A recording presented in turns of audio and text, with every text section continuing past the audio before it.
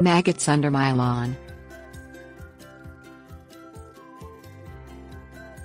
Maggots are pests that turn into even bigger pests that no one wants to deal with. However, maggots and grubs are often mistaken for one another. Knowing the difference between the two insects is important when trying to remove either pest. Identification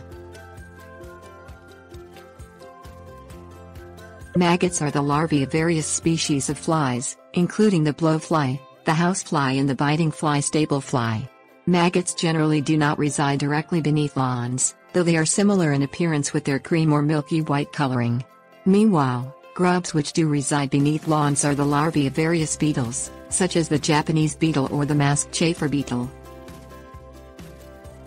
Causes Flies lay eggs in areas like trash cans or compost piles, while beetles lay their eggs beneath the soil. This is why a homeowner may find maggots at the bottom of their trash can or in their compost pile while they may find a similar looking insect the grub beneath their grass. Beetle larvae feed off the roots of lawns, so this is one of the main reasons why grubs are found beneath lawns.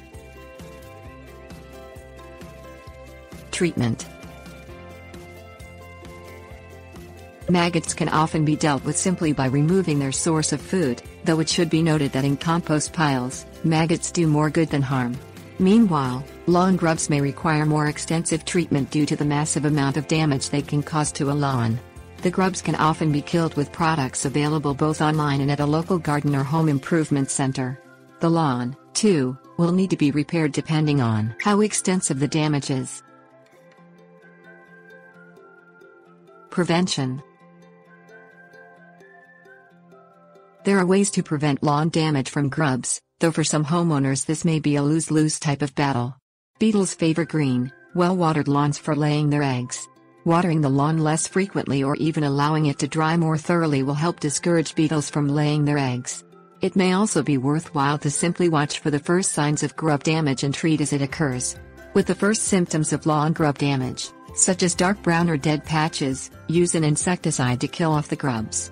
Regular monitoring can help reduce the extent of the damage, even if it cannot prevent grubs from occurring altogether.